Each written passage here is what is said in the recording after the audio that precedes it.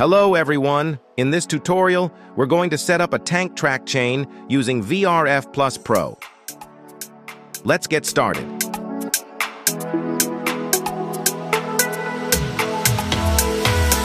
First, we will plan the placement of the handle points on the Bezier curve object. We'll place the handle point here. As you can see, the handle point will slightly go inside the tank wheel. Now let's place the next handle point. Here. Here. Here. Here. Then here. Here. Here. Here. And finally, here. The marker positions should be as close as possible to the tank wheels. Press Shift plus A. Choose Curve, then select Circle. Now position the curve object as shown in the video. To make it easier, we will align the Bezier curve object with the coordinates of the front tank wheel. Then, select the Bezier curve or circle object, press Shift plus S, and choose Selection to Cursor. Enter Edit Mode.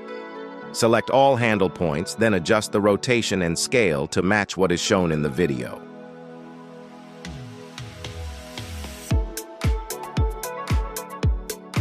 Make sure the handle points go inside the tank wheels.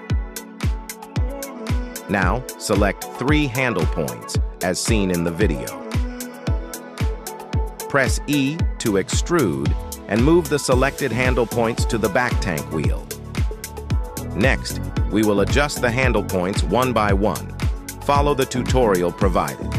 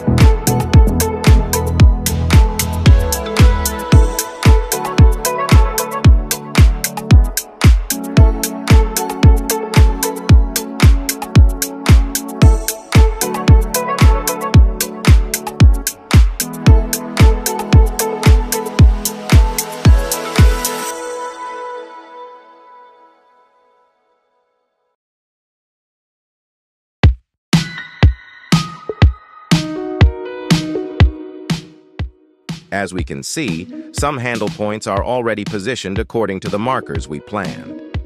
Now we will add more handle points. Select two handle points. Press W, then choose Subdivide. Adjust the handle point positions as shown in the tutorial. Select two handle points. Press W, Subdivide. Adjust the handle point positions.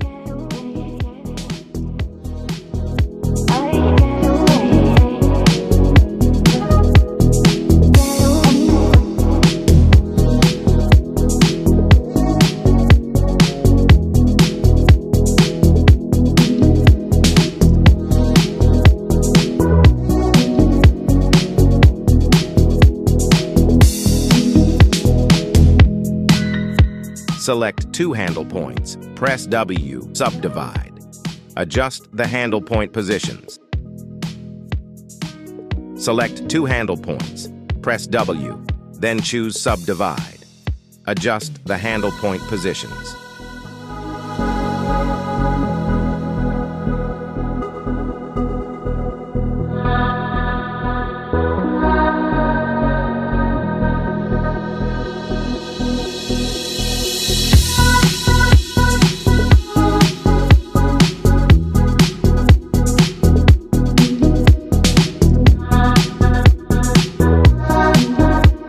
It looks like all the handle points are set as planned.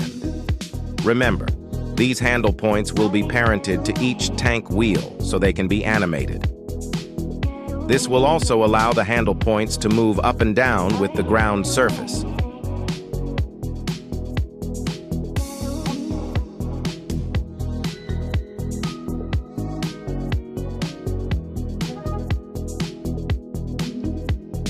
Next, we will rename the object to chain curve left.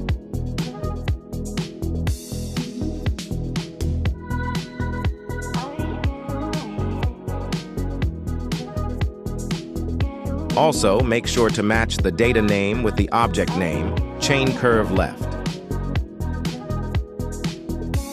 Then we will mirror and duplicate the chain curve left object.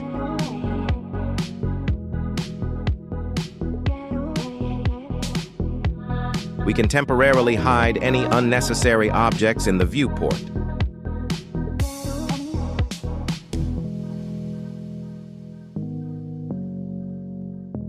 Press Shift plus D to duplicate the chain curve dot left object. Change the transform pivot point to 3D cursor. Press Ctrl plus M, X. Press Enter.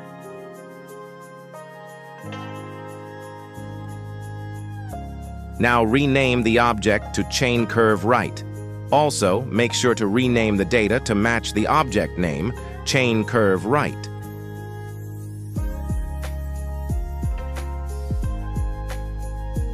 It's important to remember to apply the scale to avoid any miscalculations later.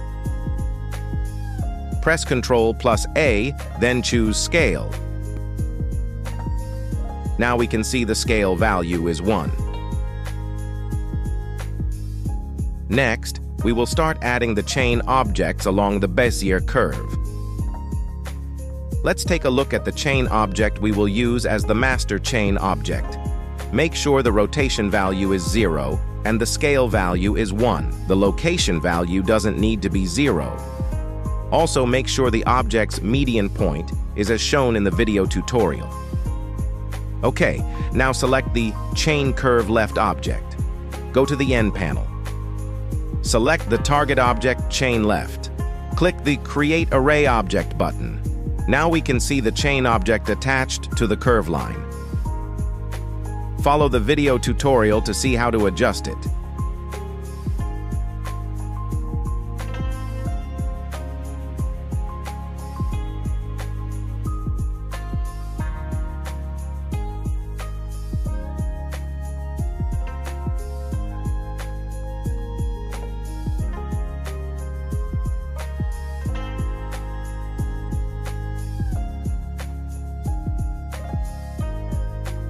Next, select all the chain objects.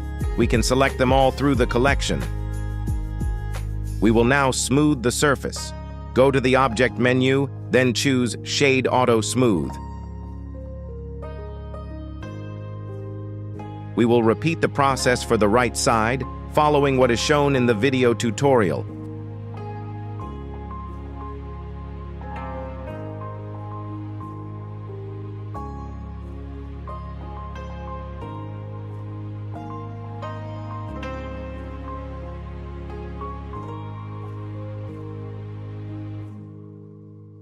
Finally, we're almost done. Next, we will tidy up the collection to make it easier for the rigging process later.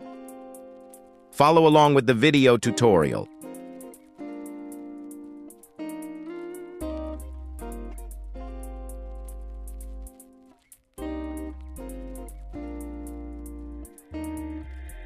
We can try moving all the chains along the curve.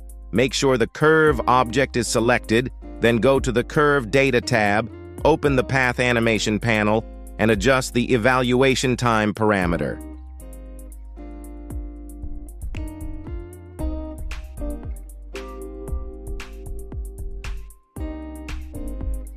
Lastly, we can unhide all the objects we hid earlier in the viewport.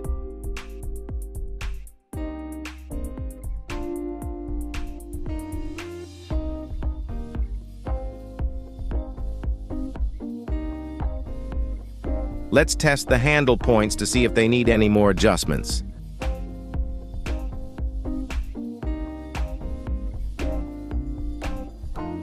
It looks like the tank chain setup is perfect.